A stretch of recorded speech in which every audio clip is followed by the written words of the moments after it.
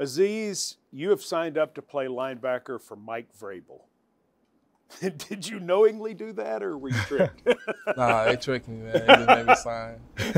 Tell me, I mean, Vrabel was a good linebacker, and the the linebackers who play for him, he holds extra responsible. But I'm guessing from where you come from and what your background is, you almost welcome that, don't you? Oh, 100%. I think um, from being in San Francisco for the last four years, like we consider ourselves the best linebacker group in the NFL, you know, in the world because NFL is the highest group you can get. And so if you're the best in the NFL, you're the best in the world.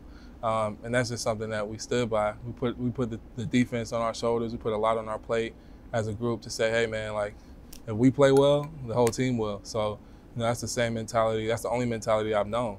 And so you know with Coach Vrabel, like I I wouldn't expect anything less. Like he doesn't even have to tell me that. That's something I feel myself. You know, even talking uh, with the coaches, like that's just kind of the mentality that I want to bring is to make sure that's like, hey, like we got to hold our weight. We got to set the standard. So because that's the same mentality we had in San Fran. When the Titans played San Francisco two days before Christmas in 2021, we met with Coach Vrabel before the broadcast. And in the production meeting, he said that that linebacking corps was as on point as anybody he had ever seen. That that's what really impressed him. That you guys, whether it's run or pass or whatever, you guys didn't make mistakes. Mm-hmm. How did it come to be that that group and your play would be so on point in that way? Man, I think years of gelling with each other with a combination of, you know, Johnny Holland, like, man, one of the best coaches I've ever had and got to be coached by. You know, it's an honor. Uh, he's literally like a grandfather to me. you know what I'm saying? Like, the man, like, he's gonna be on you about everything, but he's he's he's really big on positive like reinforcement. And I think he just he made people he could make the sorriest player feel as if he was the best person in the room. Like that's the that's the energy that he brings. That's the mentality that he had, and he was gonna have you prepared for every meeting, every game, anything you face. Um, and I think when you just buy into that, you know, and over years of the same thing, you know, it just it only got stronger. So, I mean, I think that's how you do that when you play with love uh, for each other. You know, you play with a bond for your brother. You don't want to make mistakes. You want to make sure that you go out there and play as hard as you can, play your best, and you know that's what we are able to accomplish and do at time. What does Azeez Al-Shaair bring to the meeting rooms here, knowing that it's going to be a very young room that yeah. you're going to walk into? Yeah, honestly, I feel like I bring a lot of experience, a lot of leadership, and the aspect like I've been through.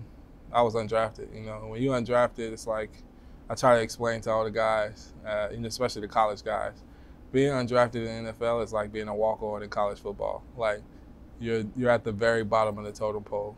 So you know when you, I remember Kwon Alexander. He's like a brother to me, and coming in, we both tore our ACLs the same time, almost like two three days apart from each other.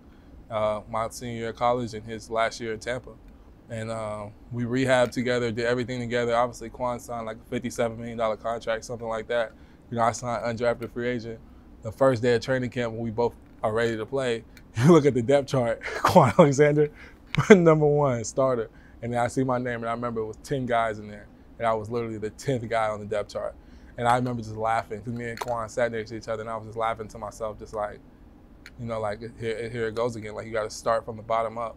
And, uh, you know, going through all that and going through all the highs and lows that I went through in San Francisco over the last four years, and I've been to three NFC championships in four years uh, playing in the NFL, you know, so I feel like all the experience I have from that, and also just personally in my own life, you know, I can bring a lot to the table just in that room uh, with those guys. It's really helping them uh, grow as better players because the same men- mentality that Johnny had, you know, he instilled in me, and I, I, I, feel the same way.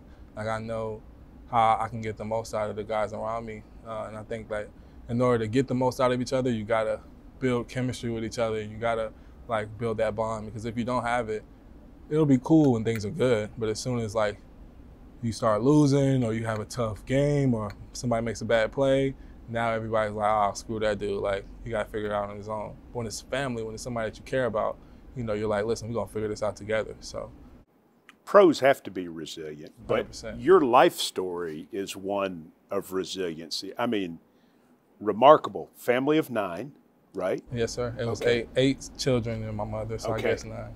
So your house is on fire and you wake up and get everybody out of the house, and that's great, but then you're homeless. Mm-hmm. And then you have to fight through all of that, making through making sure brothers and sisters get fed, taking extra recruiting trips for food before you go to Florida Atlantic, taking two of your brothers with you to Florida Atlantic to make sure they're taken care of.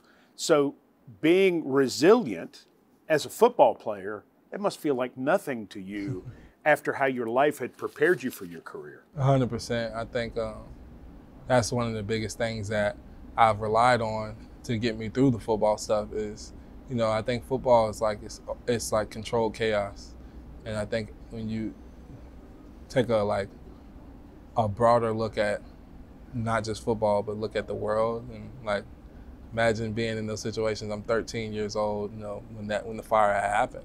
So it's like if I got through all those things and I made it to be here, I'll be fine while I'm here. So that's kind of just like always been something I carried myself with and had that little chip on my shoulder that kind of just brought me all the way through. And even through the hard times through football, I just kept pushing and I was able to see the light. Wrap this up for us with this. How would you describe the linebacker, the football player, the person that Azeez Al-Shaair is to the Titans fans? What is this team getting in you? And you getting a guy that has passion, has love for the game. I'm so grateful for just everything that I've accomplished in life, everything that I've been able to to to do in my lifetime and getting here.